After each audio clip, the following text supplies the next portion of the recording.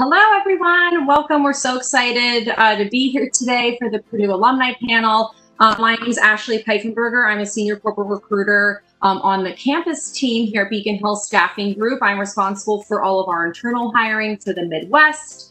Um, and again, excited to chat with all of our awesome Purdue alumni.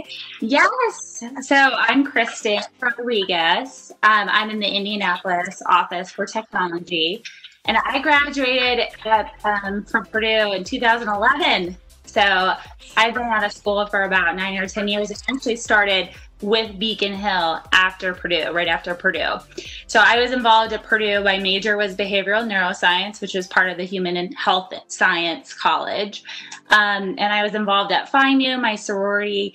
I also was involved in PACE, board of directors. Um, I also helped with campus tours, and I also was a BGR leader guys. Yeah, so my name's Hackney. I um, am also a Purdue grad, of course. Um, I graduated 2012 um, with my undergrad, 2013 with my master's, um, and then I also joined uh, Beacon Hill right out of school. I also started in the Indianapolis office, and then after about a year, I relocated over to Columbus, Ohio, um, which is where I live now. And um, during my time at Purdue, um, I was on the softball team. Um, and then my graduate assistant year, I actually worked for the John Purdue Club. And, um, you know, that's actually how I got connected with Beacon Hill. And um, I'm excited to talk to you guys today. Yes. Um, so my name is Catherine Tito. Um, I am in the, uh, well, my title is a staffing consultant. I'm in the Dallas, Texas um, office. I graduated last year, so 2019. Um, I majored in hospitality and tourism management, and I minored in Italian. Um, things I was involved in at school, I was a, I was really involved with my sorority, Zeta Tau Alpha. I also did BGR, and then I did a couple clubs involved with um, HTM. So. Um, so I guess first off, what attracted you to staffing and how does it relate to your undergrad experience at Purdue? So we'll have everyone kind of run through um, their answer. If Kristen, you'd like to kick us off, that'd be great. Yeah, I mean, I don't know about you guys, but I didn't really know about staffing, you know, right away during my career at Purdue. In fact, um, I changed my major a couple times at Purdue because I was trying to figure out like the right fit and like what I wanted to do for a living. And all I knew was like I wanted to get out of school and make a lot of money and I wanted to be successful. And my senior year, I just started applying to some different roles. Um, I actually found out about staffing through one of my best friends in my sorority. Her brother, um, he lived in Florida and I remember visiting him for part of our spring break trip. We got to visit his house and he had the whole setup. He had the cars and the, the house and the pool and had just gotten married and he had graduated from Purdue too. And I was like, well, you look really successful. Like, what do you do for a living? And he's like, oh, I, I'm a technical recruiter. And I'm like, well, I want to do that, Rob. I would do job. I would do the role. So I started applying to different technical recruiting roles. Um, some of the cross Beacon Hill. Actually, my boss um, was part of my sorority at Beacon Hill um, or at Purdue, and she worked for Beacon Hill at the time. And she sent out a posting and it said, you know, hey, for any seniors graduating, if you're interested, I have this recruitment role. And I knew exactly what it was. I was like, oh, that is the role I want. I applied for it. Um, I actually applied for it, like I said, a lot of different kinds of roles, and staffing just felt like it was going to be the place where I could really achieve my goals and really make the kind of money that I was looking to make out of school. Because that was success to me. You know, I wanted a career where I could control my own destiny for that. And I just fell in love with kind of the unique culture of Beacon Hill. It didn't feel like it was like a you know, huge firm where I'd be one of 10 people coming in and just a number of a freshman class or something. And it felt very much like this was a place I could pursue a career with. Um, so I ended up signing on right after graduation and I've been here ever since. So I kind of got lucky a little bit. I, I, also have, I report to the same person that Chris does. Um, so I run the Columbus office and one of the things that when I first got out of school, I had my master's was kind of pushed towards HR, but I wasn't sure. Same thing with Kristen. Like, I wasn't quite sure what I wanted to do. I didn't know what staffing was. Um, I knew that I was super competitive. I liked accomplishing goals. And I also, like, I was the type of person that, like, always was going to work harder than everybody else in the group or on the team or whatever it was and like that if that is you like that is you were made for staffing like because it is it's one of those jobs where you do like you control your own destiny um so as i was i actually interviewed with a competitor um and for some of the same things um, that kristen was mentioning like you know, I, I didn't get a great feeling. I felt at home when I talked to my boss at Beacon Hill because there were a lot of things when I went on a half day interview with a competitor.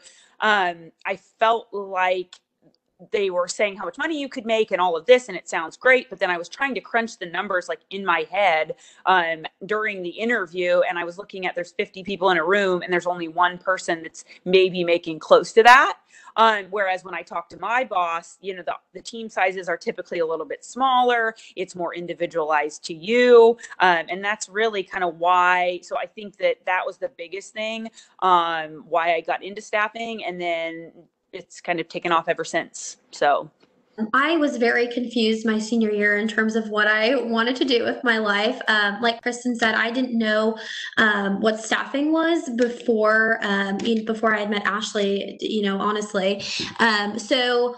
I knew that I wanted to do something with sales. I knew that I, you know, wanted to make a decent amount of money and I wanted to kind of, you know, build a build a career for myself.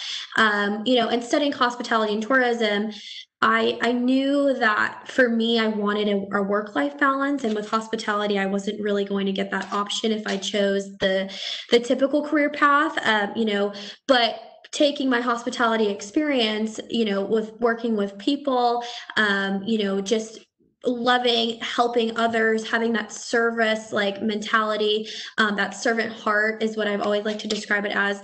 I knew that i still wanted to have that in a career but i wanted it to be kind of the sales aspect of that to where i could kind of you know feel like i'm helping others but also kind of helping myself in a way and like you know um, pushing myself towards that. Um, so you know when i met ashley and she told me a little bit more about it um, you know we, we kind of i kind of told her like you know i'm kind of looking to get into sales and then started talking a little bit more about recruiting. And i thought you know that that makes sense for me, especially term in terms of like what I studied and just the mentality that I have. Um, and then, um, you know, the different divisions in, in Beacon Hill too, we decided that the associates division was going to make sense for me because that's more of our like clerical administrative positions that are a little bit more I don't want to say like niche, but a little bit more like people focused, um, where you have to have kind of those soft skills over those hard skills. So, um, but yeah, that's how I kind of got into it. So, yeah.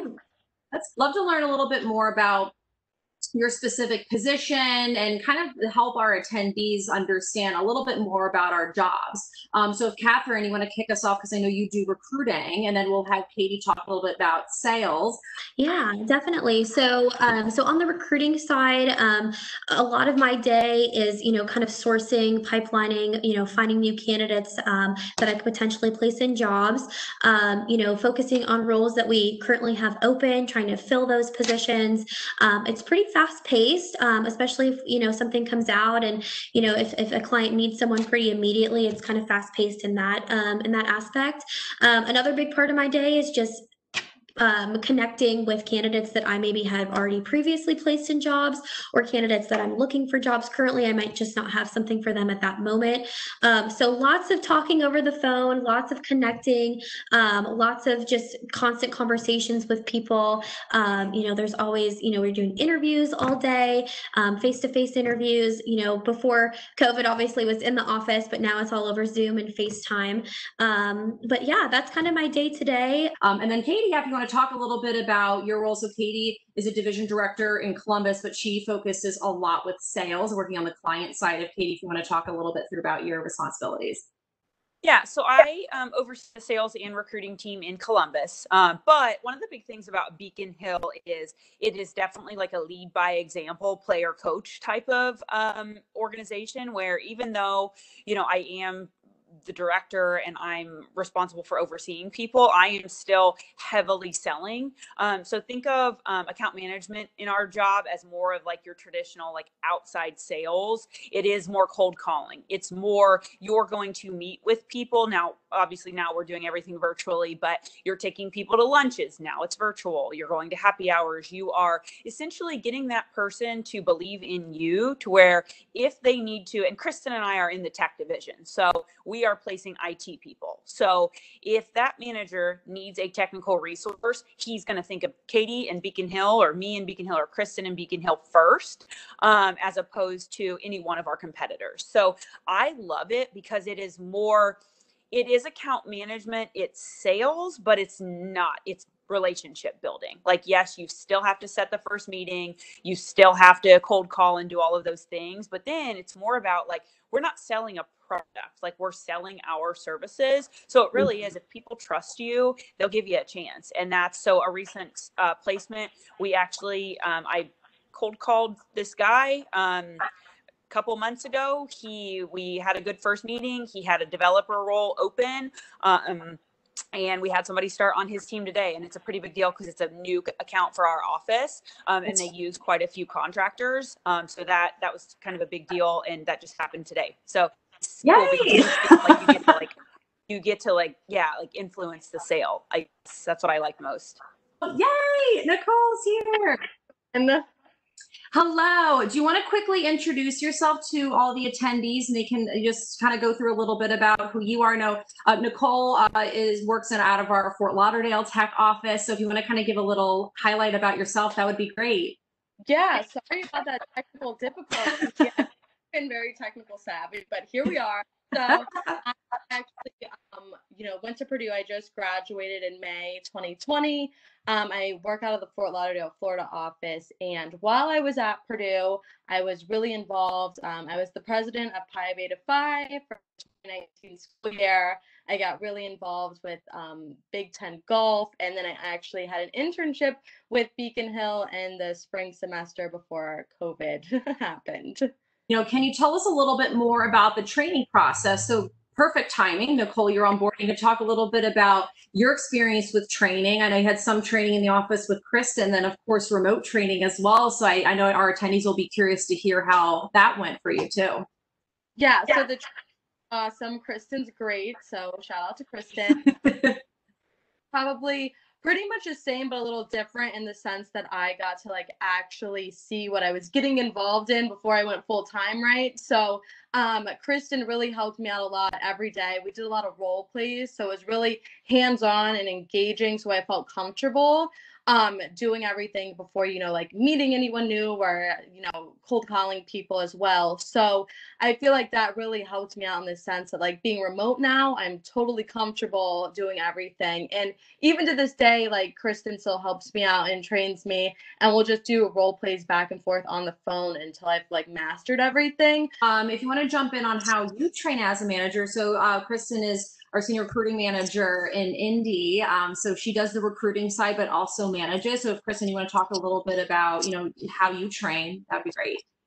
Yeah, because eh, most people who start with us have no experience. I mean, we have a lot of people who are very successful who came in with no staffing experience whatsoever. And we love hiring recent grads. I love hiring recent grads because that's where I started out of Purdue. And it's extremely hands on. You don't have to know anything about recruiting or technology or whatever you're staffing for. We teach you everything. I mean, you should see our training binder. It's like thick. super heavy because we want to cover every single part of our craft in different chapters and we walk through it. I mean, step by step by step. We're putting you on the phones quickly. We're giving you that feedback. We're talking through different role play scenarios. We really view this as a career, so we take it very seriously. So our training is very deep, um, but we really want you to master that. And you know, depending on the person who starts, you know, and how much investment you put into it, you can pick up the craft rather quickly. And as long as you're a hard worker, all the other things will come into play. And let's kind of dive into career growth. Um, so let's see, what does your growth look like and career path look like? So let's start with Kristen on your career path and what, how you got to where you are today. Well, as I mentioned, I started right out of school with no experience from Purdue. and I worked my tail off the first couple of years. So I was working all the time. I think my friends thought I was crazy. They were like, oh my gosh, like you are working all the time, you're always on the phone, you know, yada yada. I'm like, well, they told me if I just work hard, I'll be successful and I'll make a lot of money. So I did that for a couple years um, and then was promoted to senior recruiter.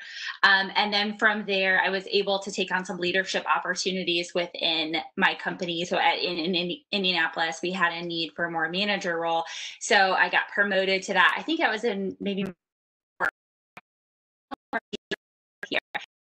So my you know my um, area that that was open but you can take leadership opportunities a lot of different ways whether that be a mentor within our company you can be a lead um, you know if you are work hard and you're putting in the time there opportunities are endless here. So what's cool about it is you may not even think okay gosh there's got to be this role and then this role and then this role within a corporate company we're entrepreneurial, we're growing, and we have different needs at different times. And so if you're working hard, you're going to be one of those people who get those opportunities. My path, um, again, started um, right out of Purdue.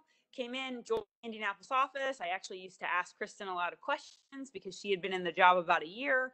Um, we were both like working our tails off. Sometimes we'd go on walks after work, like, oh my gosh, we're working so hard. And like, but the the thing about it is, is like it's one of those jobs like it is hard. Like it's not an easy role, but I wouldn't change it for the world. Um, so I was in Indy for about a year, a little bit over a year. Um, my boss actually asked me if I wanted to relocate to Columbus and um, essentially kind of sell and start as a sales manager. And I thought about it for about an evening and said, "Yep, let's do it." So I um, so I, that was so obviously still selling this entire time. Started off as an account executive, um, then was promoted to business development manager um, when I moved to Columbus, and then probably about six months later, I was promoted to a division manager, which means I run everything except for the P and L of the office.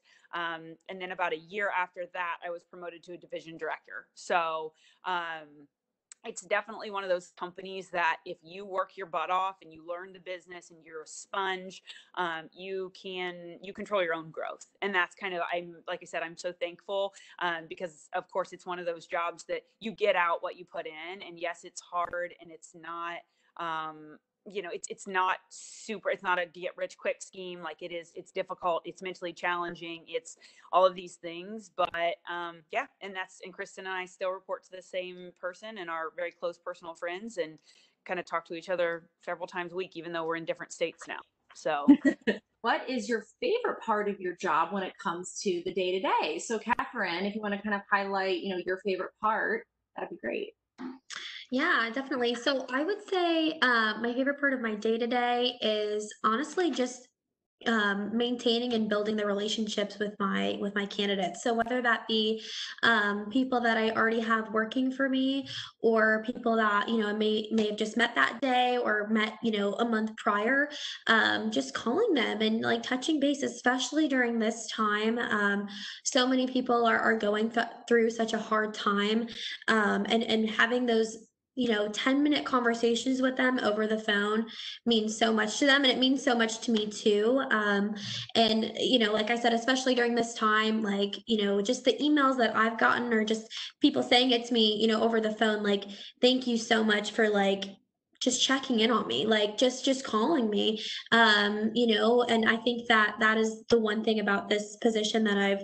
that i've learned to love so much is just building those relationships with people you know because they start off as a cold call as a complete stranger and then you know a week later a month later you know that person's cat's name or you know their that how many kids they have. Like it's it's it's really cool to to build those relationships for sure. Definitely um, all of the networking that I get to do, um, if anyone knows me, I could talk to a wrong number all day. So it's just building those relationships with people and really getting to know what they're looking for and helping them find a new a position that's going to help their life tremendously, especially during this time. Just even getting people in the door to getting interviews and meeting hiring managers, I think that's amazing. And uh, the relationships you build with people, like I will have um, guys send me recipes from their wife uh, recently, just like, uh, you know, letting them know that they're thinking about me or thanking me for helping them get in the door somewhere. So I think that's the my favorite part of the day is building relationships with people that I would have never met otherwise. So next question is what is your favorite office or Beacon Hill tradition? And we're gonna have everyone answer this. So Kristen, you want to kick us off with your favorite tradition? That'd be great. So one of my favorites, there's so many good ones, but I have to say the holiday party for me is like the most epic experience ever. Agreed, all the above. I think that for me it was President's Club. So that is essentially our highest honor um, if you average a certain um, gross revenue for the year, you qualify for this trip. And but it's not like um, I, I don't even know how to explain it. So I qualified after my second year. Um, I remember walking into this resort, and this resort is, I mean, it's about a thousand dollars a night to stay there. Everything's all inclusive. Like it's wonderful. And I remember walking in thinking, like, I don't know that I'm qualified to be here. And, you know, it's one of those things that, like, every year it is, I've qualified several times now. Um, I think this would be my last, this year would have been my fifth trip, you know, and it's one of those things that every single year it still takes my breath away and it's pretty cool. And i think it's roughly like 20 or 25% of our company qualifies. I would say our quarterly outings are really awesome. So each office um, you know in different cities will do different things but a couple that we've done before uh, we've done like bowling um, we've done i know that um, previously they've done a boat trip um, a wine tour was one of them also. Is every thursday our regional director shannon will send out like a positive email of what everyone has done the previous week and what's positive going on in their offices. And it really highlights what everyone's been working on. And then also just helps me to understand what other people are doing and how great everyone's doing and once makes me want to be a better myself. So I really enjoyed that. Describe your Beacon Hill experience using one word. I would say rewarding. A little bit. I'm going to use like a hyphen and say life changing just because I think that again, like same, I've been here set over seven years, going on eight. Um, and it truly has like Beacon Hill has opened doors that I never thought I would, especially like I'm in my early 30s. Like I've never, you know, I, I have uh, things that I never thought I would, and I have I had opportunities that I never thought I would. Um, I would say my word is is opportunity, and just to kind of elaborate a little bit on that, I think, um, you know, a, a job like this, especially with Beacon Hill, I thought it was amazing that that I had the opportunity to like that they took a chance on me, essentially, um, you know, not having industry experience already, um, but knowing just who I am as a person, being a super hard worker, and just being super determined, and taking those qualities and putting it into this job. Um, and Nicole, take us home. What what would you say is your one word? Yeah, so that's super difficult, but I think um, for me it's engaging just because I never thought in a million years that I would have so much help and be so supported to do like to be be my best basically and every day I'm just engaged in something different or meeting someone new and it's been very very great for me and rewarding as Kristen would say as well. and thank you so much again to our amazing panel, Catherine, Nicole, Katie, Kristen. Really appreciate you all being on today. Um, and thank you so much for our attendees for joining. I hope this was helpful and a great resource for you all. Um, again, we are, you know, running with the process. Career fair season is here, I can't believe. I have managers that will make offers now for 2021 grads. So if you're really interested and excited, let's definitely connect and we can get um, the process going. But thanks so much, everyone. Have a great week.